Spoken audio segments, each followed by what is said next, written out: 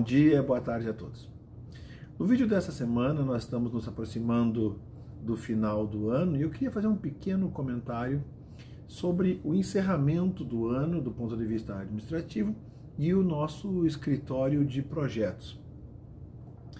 Nós temos hoje, no pequeno balanço é, que eu recebo toda semana, nós temos hoje registrados em processo no INPE 123 projetos de cunho que pleiteiam ser de cunho institucional.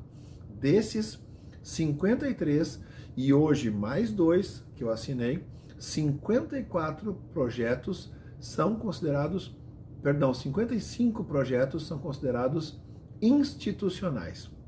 E 11 desses 55 já estão, inclusive, no portfólio do Ministério da Ciência, Tecnologia e Inovações. Deu um certo trabalho no início. Se vocês olharem a série de vídeos, vocês verão que lá atrás nós dissemos que iríamos gastar um tempo antes para facilitar o tempo de tramitação depois. Olhem os vídeos iniciais do vídeo da semana que você verá isso. E hoje eu tenho esse balanço para os senhores e senhoras. Eu recebi dois comunicados, entre vários, mas dois que eu vou destacar, que eu não vou citar as pessoas para não fulanizar, mas um colega cientista falou assim: estou surpreso. Estou surpreso porque eu mandei um processo de compra para análise da CJU, mandei na segunda, voltou na quarta com parecer positivo e apenas algumas recomendações.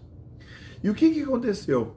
Quando o processo de compra foi, o processo de compra foi acompanhado do TAP, de um projeto, indicando que o projeto, aquele equipamento estaria sendo comprado, é um projeto institucional, que passou por todo o processo interno. Isso dá segurança. Deu segurança para o advogado da CJU, que é nosso parceiro, ele é um parecerista que se compromete junto com o seu parecer, dá segurança para a direção do INPE, que agora compra com processo institucional e dá segurança para os fiscais do contrato que gerem os contratos de compra e de contratos que são é, mantidos na instituição. Isso garante o princípio é, da legalidade dos processos, além de dar transparência a tudo que nós damos. Isso facilita o processo. E o ponto que eu quero ressaltar é: dois dias e meio foi para a CJU e voltou. Não quer dizer que o advogado da CJU tenha sido é, leniente. Não, ele foi rigoroso no seu parecer. Foi absolutamente correto. E o que, que deu essa segurança? Todo o processo que nós gastamos antes. Aí você diz, ah, mas o processo é demorado. Foi demorado. A segunda informação do mesmo processo que eu queria lhe dizer é no início, quando nós começamos esse processo de registrar os processos, os TAPs, os termos de abertura de processo dentro do escritório de projetos, o primeiro deles levou três meses para nós aprendermos como que funcionaria. Semana passada, nós aprovamos um TAP, o processo inteiro, saindo da área e chegando lá no escritório, vindo até a direção para seu registro definitivo no portfólio de projetos, em quatro dias por coincidência, óbvio, das reuniões do comitê assessor coincidindo. Mas essa é a média. A média é que daqui para frente os projetos institucionais devam ter 15 dias, 7 a 15 dias de tramitação. Em casos extremos, 30 dias quando o comitê se reúne uma vez por dia. É o tempo de tramitação do processo. Tramitado o processo e estando com o seu TAP aprovado, os processos de compra, os processos de parceria, os processos de contrato ficam todos simplificados. Isso dá segurança jurídica institucional. A segundo comentário que eu queria dividir com todos vocês veio da parte de um coordenador.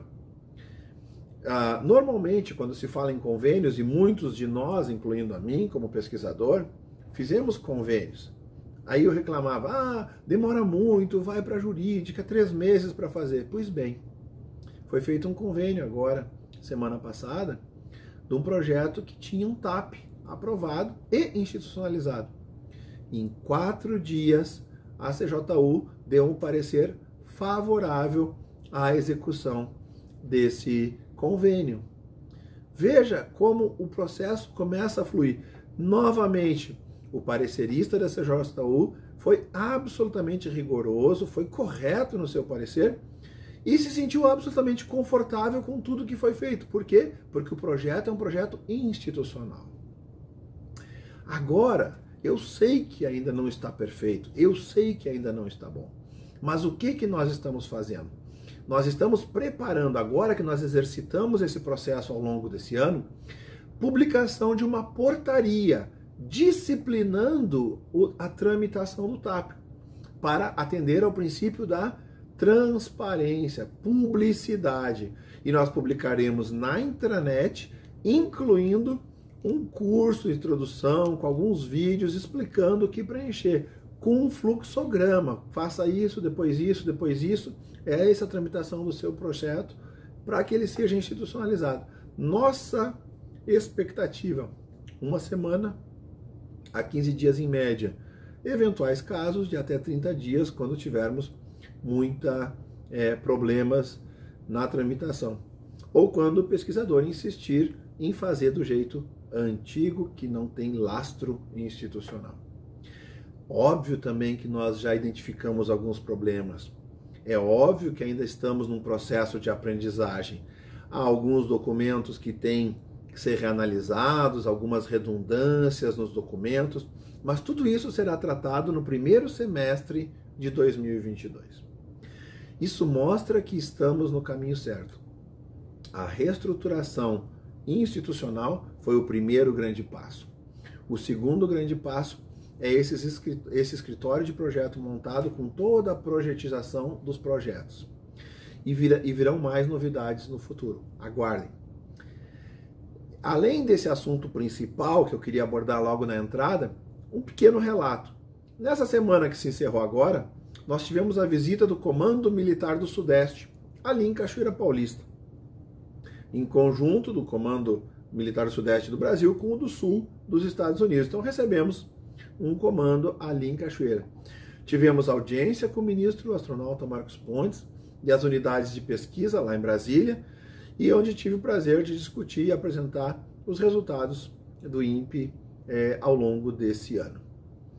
Também tivemos a, a participação do INPE na audiência plenária do CDPEB, onde tivemos deliberação e aprovação de vários itens que oportunamente serão divulgados nesses vídeos.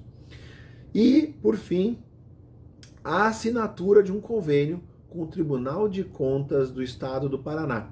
E, para nossa surpresa, durante a assinatura, também tínhamos a presença de uma representante do Tribunal de Contas do Estado do Espírito Santo, que ao ficar sabendo deste convênio e do seu teor, absolutamente interessada, foi a Brasília para iniciar os contatos para trabalhar com o INPE. E isso ocorreu durante a 18ª Semana de Ciência, Tecnologia e Inovação, que se encerrou essa semana e ocorreu na cidade de Brasília. Por enquanto é isso. Vamos voltar a nos falar no final da semana que vem. Eu peço desculpas por esse vídeo bastante longo, mas eu queria fazer esse reporte inicial e essa é, apresentação do o porquê da importância da projetização. Número um, nós estamos é, institucionalizando aquilo que é feito no INPE. Lembre-se, nós trabalhamos para o INPE, não é o INPE que trabalha para nós. Nós trabalhamos para o INPE e o INPE trabalha para o Estado brasileiro uma, um bom final de semana, uma boa semana a todos e nos vemos na semana que vem.